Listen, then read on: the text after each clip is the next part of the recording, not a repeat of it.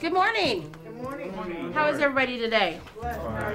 Kelly is a volunteer at SIDE, a nonprofit in Kansas City, Kansas, that provides services to members of the community with mental illness. Introduce ourselves. Okay, this is the dual recovery um, group on the anti-stigma campaign. I have. She helps write grants, mentors other members, and is the vice president of the board of directors. You write your positive affirmations on them. Kelly is not a doctor or a social worker, but she brings a special understanding to her work. Kelly has a mental illness. Because I know I see my nurse. She and every other SIDE member are on their own journey of recovery. When I was out there, um, just in my in my general life, it was half Kelly, half monster. That's what I saw in the mirror. I was angry. Um, I was lonely. I was tired of just being out there.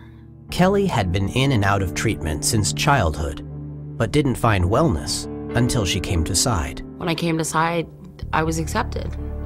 For me, it wasn't what I could give, it wasn't what I could take, it was who I was because we respect each other and we give each other peer support. And that peer support was something that I didn't understand. SIDE is part of a growing movement that is changing the face of mental health services across the country.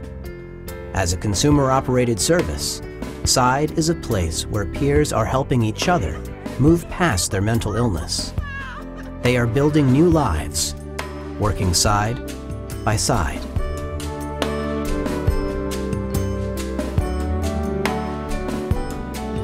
It's run by consumers. It's shared leadership. We basically are in the driver's seat. SIDE is a safe environment with no stigma. We challenge that learned helplessness. We don't allow that to happen. It empowers people to see themselves beyond their mental illness. You have a real family here.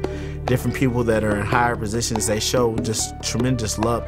This is just a very uh, good setting for consumers to come and be involved and find out that they're really able to do a lot more with their lives.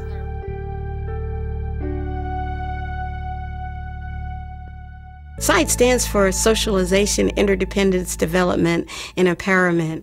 SIDE was founded by consumers to help themselves and their peers rebuild their lives and support each other in their recovery process.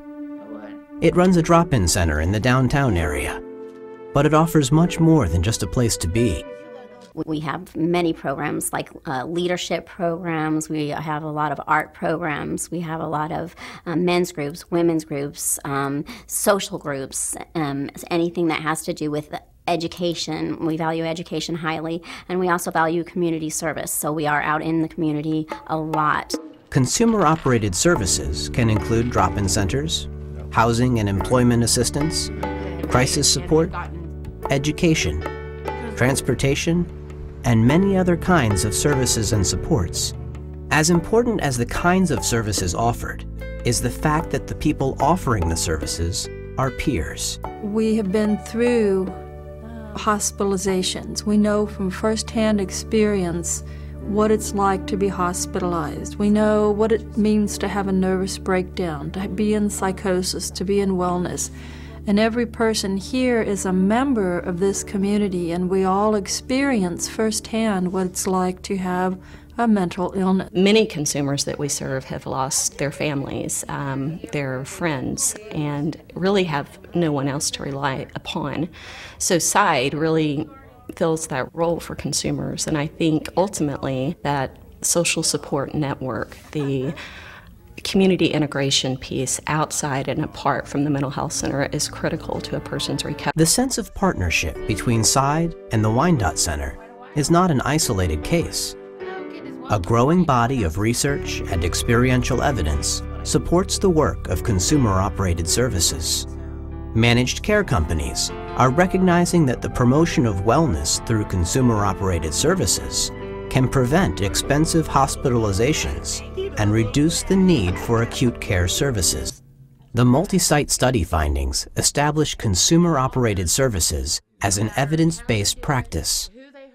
In other words, if you deliver the services the way they're intended, you will get the outcomes. And in this case, that means you will have people that have greater well being. over time.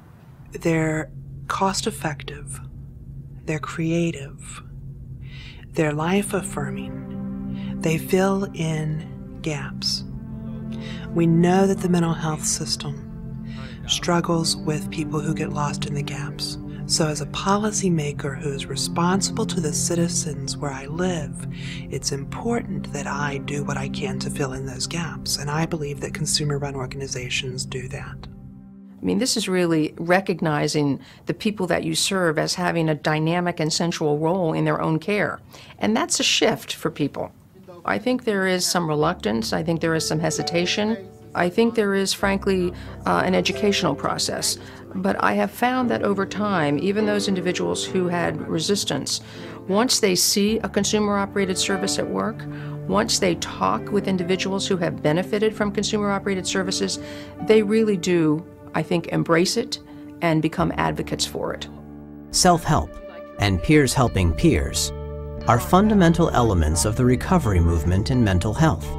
They represent a fundamental change in the way we think about people with mental illness.